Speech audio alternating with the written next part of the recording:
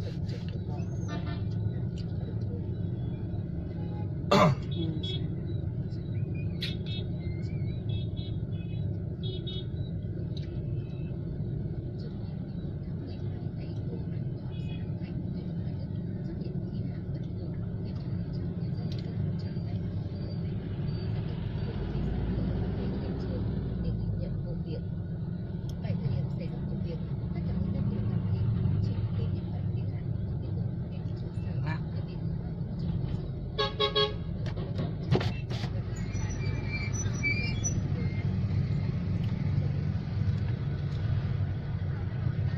Xin chào tất cả các anh em ờ, lái xe trên, trên toàn quốc.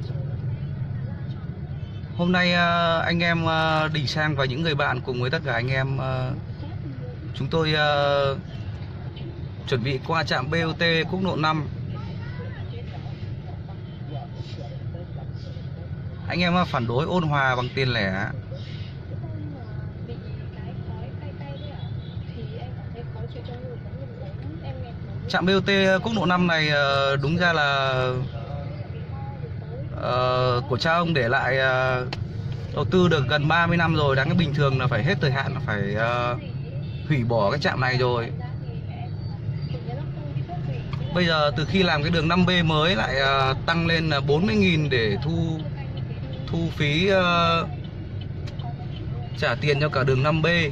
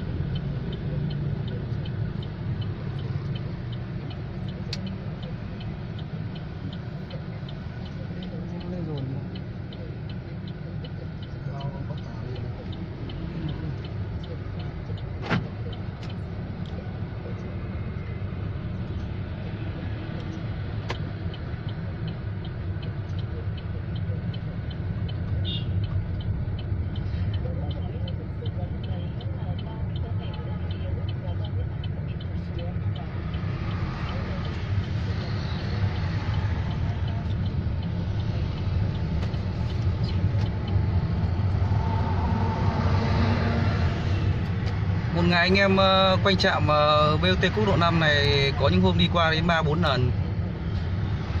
4 lần là 8 lượt, 8 lượt là 8432 320 rồi.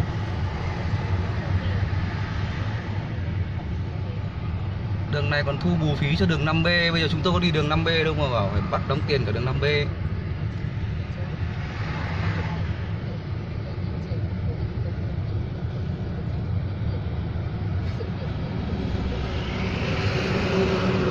Cả anh em lái xe trên toàn quốc nhá.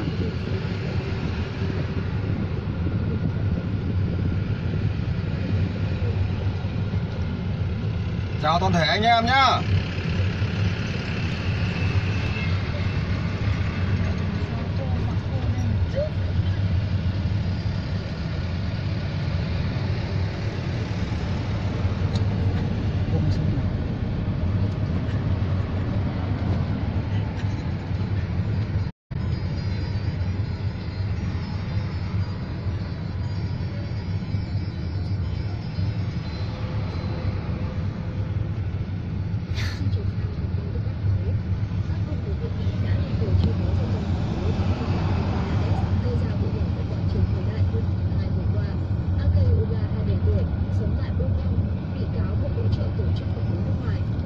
Chào tất cả một lần nữa xin chào tất cả các anh em uh, lái xe trên toàn quốc nhé.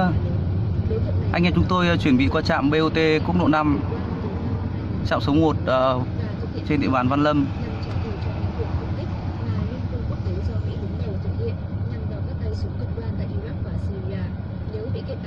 đối tượng sẽ phải chịu mức án tù trung thân. Và đi vừa đưa ra một cảnh báo rằng bóng đá IS có thể quay lại nếu không có sự hợp tác quốc tế để xóa sổ hoàn toàn mối nguy khủng bố này.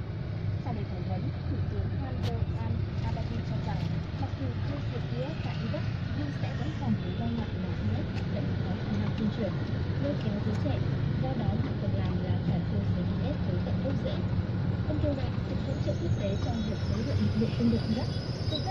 vụ hậu cần đã hỗ trợ thông tin tình báo có liên quan.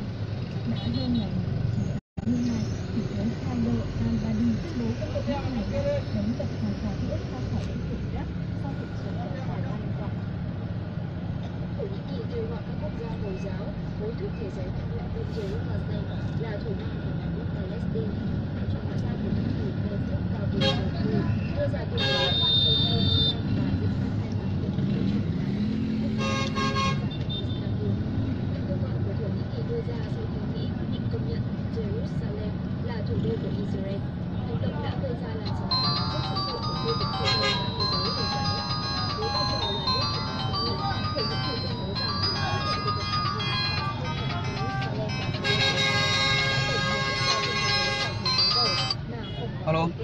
Là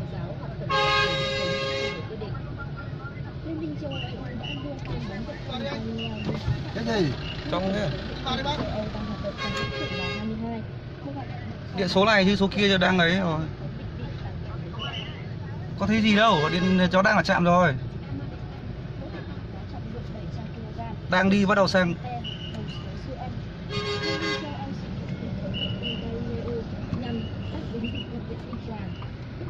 Hôm nay ờ, có vẻ các ờ, lực lượng ờ, chức năng là 250 tỷ đô.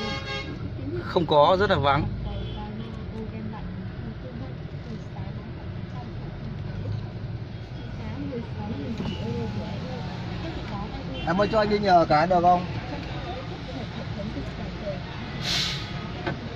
Bây giờ toàn anh em ở quanh trạm thôi chị ơi, ngày đi mấy lần cho đi nhờ cái đi. Anh ở gần đây mà, nhà anh gần đây, anh muốn đi qua trạm về nhà anh.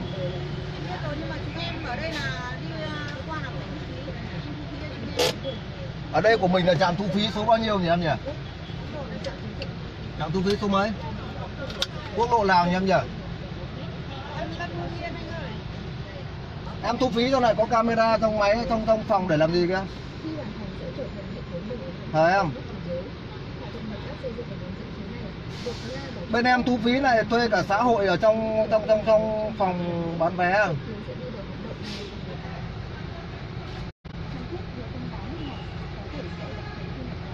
Phí ở đây là bao tiền em? Trước anh đi có 10.000 sao bây giờ lên 40.000 Đường này chỉ 10.000 thôi, đường này có phải đường chạm có phải đường BOT đâu. Trước anh đi có 10.000 sao bây giờ là thu 40.000 hợp tác khi là chỉ huy tuân thủ các luật bảo vệ nhà đầu tư cũng như công bố một màu vàng bán mua. Trên cần được hội Hàn Quốc thông qua trước khi hiệu lực. Hôm nay, Bộ Ngoại giao đã khởi phát tại cơ Ủa em ơi, anh hỏi em không trả lời anh à đây là do là quy định của bộ tài chính của giao thông vận tải Em cho anh xem cái cái quy định đấy cái này thì anh muốn thì phải vào trong gặp và lãnh đạo chúng em chứ còn nói em chỉ là người nhân viên thôi Thu phí này mặt ấy quá. Dịch vụ mình phải tươi cười lên chứ chị. người em Đấy cười rồi. Nhà chị có ở Em Hưng Yên quê ở đâu? không? Em quê ở đâu? em ở hà nội thôi Em có ờ, thấy là trước cái trạm là thu 10.000 không? Cái thời điểm thu 10.000 em có biết không? em có nhưng mà cái này là do bộ tài chính do nhà nước không phải là Anh thấy là vô lý là trước thu 10.000 mà bây giờ thu 40.000 Em cho anh xem cái cái nghị quyết nào thu 40.000 Cho xe dịch. Em dịch bán trạm thu phí, bán vé mà lại có cả camera quay đằng sau à xã hội à? Ở bốt này là thuê cả xã hội rồi em? Thế giờ người nào đứng ở sau đây? Em em quay quay Tùng quay cho anh xem. Là phải đeo cả khẩu trang à? Trạm thu phí là thuê cả xã hội à, quay hình Nhưng là xã hội em đứng đằng sau.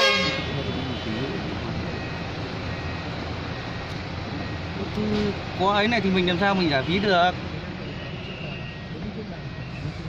Có tiền đấy. Em có thế là bao tiền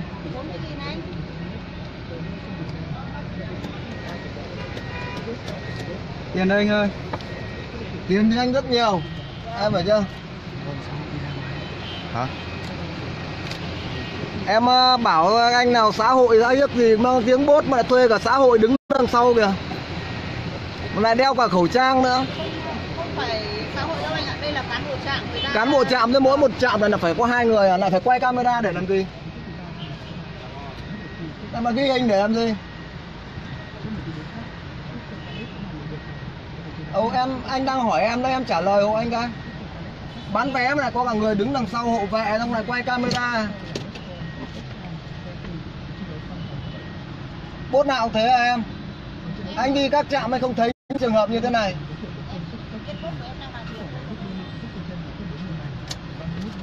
Em đang làm việc ở bốt. Anh đi qua bốt. Anh thấy nó khác thì anh phải hỏi em.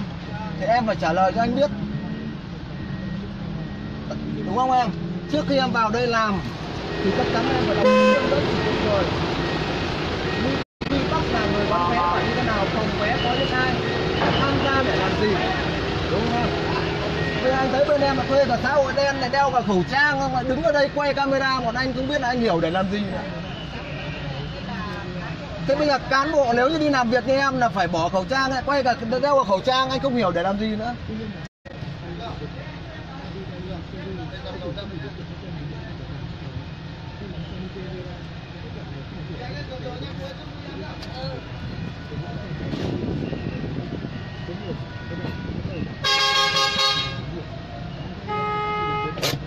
Cả 10 nghìn thôi, chạm này thôi, chạm mấy đâu mà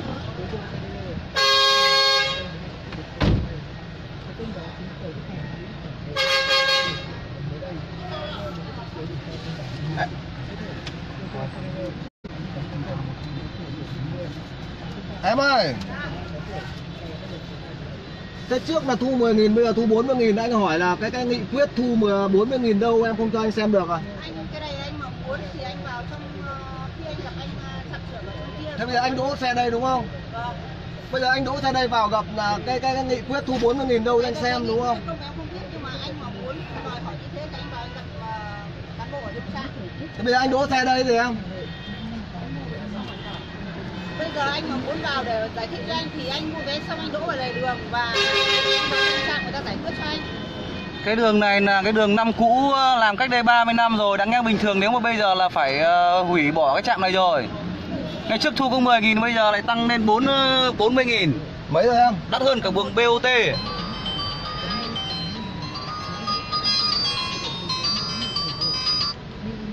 Nghe Nhanh nha ờ, Cổng chợ đường cái em bây giờ vẫn ở đây mà.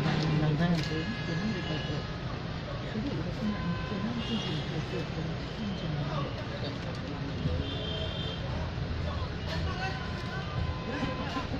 Mấy nghìn rồi em? 4 nghìn, 5 nghìn anh ơi.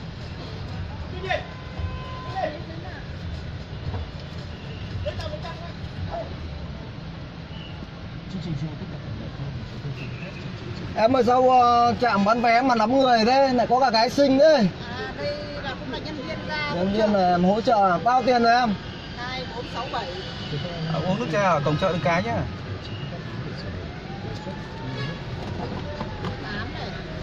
Hôm nay được gặp hot girl rồi, xinh quá 9 này bạn kia là bạn Định Tùng luôn à? À? Thanh Tùng, Thanh Tùng Tùng à? Hân hạnh được gặp bạn nhé. Nhân viên thu phí ờ, BOT đường 5 ấy. Xinh quá các bác ạ Để anh anh đấy, em có để đấy để anh đấy. Mấy rồi không? Mới được có 11 nghìn anh ạ 11 500 mà đúng không? 12 rồi 12 rồi đúng không? 13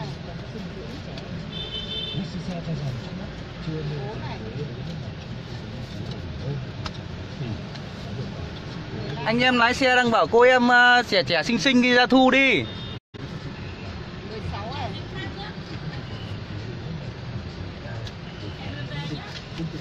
17 này Sao hôm nay trạm mình lại đông người đấy nhỉ?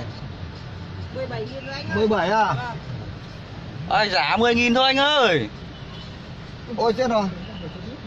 Trạm này chỉ có 10 nghìn, Ờ, trạm trước là có này có 10.000 thế thôi. Bây giờ ra giả làm sao 40 nghìn, có phải đường BOT đâu, đường ờ, 5B đâu mà thu vô lý quá Em anh giả 40 nghìn xong là ra kia em cho anh xem cái cái cái nghị quyết thu 40 nghìn nhá. Cái việc đấy thì anh cứ đỗ xem kia và anh vào trong trạm gặp còn ờ, Không, anh đưa tiền cho em là em phải đưa cái cái cái cái cái cái đấy cho anh. Em không có, em bảo với anh là anh mua vé tại đây và Cái việc tự nhiên anh anh mua vé thế là vô cớ. và anh trong Trước anh đi qua cái trạm này chỉ có 10 nghìn thôi. Đến bây giờ em thu 40 nghìn em phải cho anh nhìn thấy cái nghị quyết của chính phủ để ra đề ra Vâng, dạ em em Trong mặt em là phải mang này cho anh đấy Tại vì anh mua vé của em mà thì em phải mang cái đấy ra đây cho anh Mười mấy rồi em Sao à, chạm bán vé mà lại thuê cả xã hội đen đứng mép quay hình để làm gì nhỉ? Em ơi, anh tên Thanh. Em không phải phải như thế. Bao tiền em?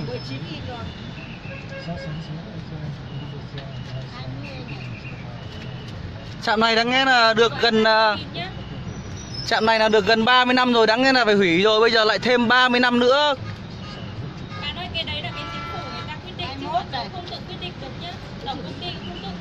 Thì bây giờ người dân ở quanh trạm là người ta bây giờ bức xúc người ta có yêu cầu là là giảm phí xuống và cái trạm này đúng ra là phải hủy đi. Đề nghị hủy trạm BOT quốc lộ 5 này đi, số 1 này đi. Ôi giời. Đùa. Mất tiền của anh rồi để anh ấy về Để đánh ra anh đấy Để anh đấy Mấy rồi em nhỉ? 23 năm anh ơi. Ít mẹ tiền. Ơi Đùa 28 năm lẽ phải hủy rồi bây lại thêm 28 năm nữa thì con cháu chúng ta ở quanh khu vực này mệt lắm. Phải gánh nợ cho đường 5B 28 năm nữa. Anh có nhặt tiền em ơi Anh có nhặt tiền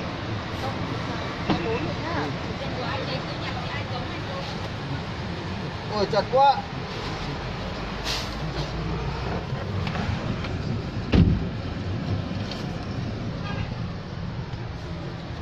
bốn năm rồi. hai năm năm hai sáu hai sáu năm hai bảy hai bảy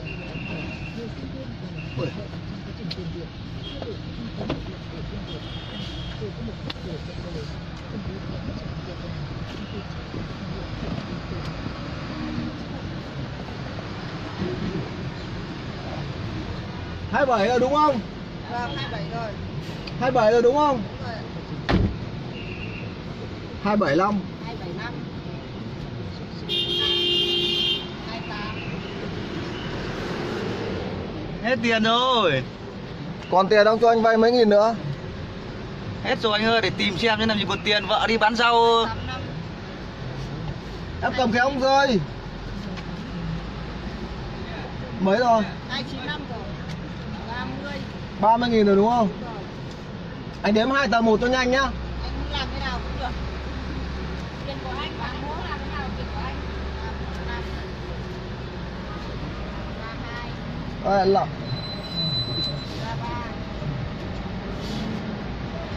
ba tư kẹp zip nữa. Anh đếm hai tờ cho nhanh đấy chính là âm nhạc tuyển chọn trên sóng FM thành phố 90 MHz của Đài Phát thanh và Truyền hình. sáu năm năm rồi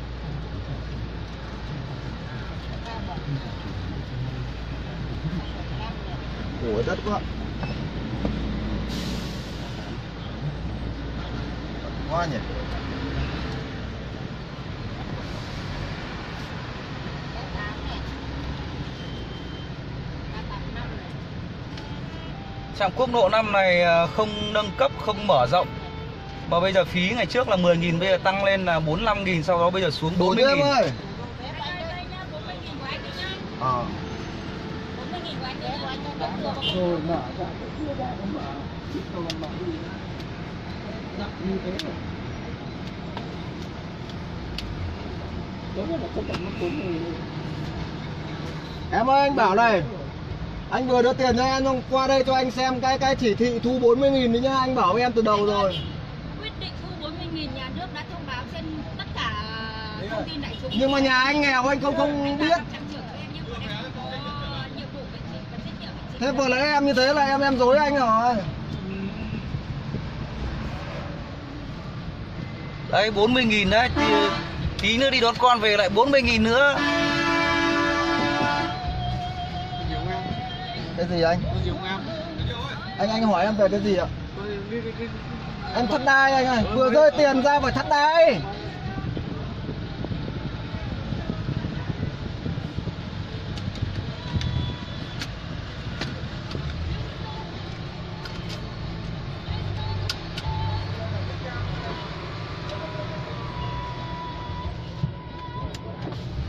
Bây giờ anh đi đi anh ơi giờ là mở cần anh đi đi anh vừa thất đai xong bây giờ anh mới đi. Vâng, vâng, vâng. đi đi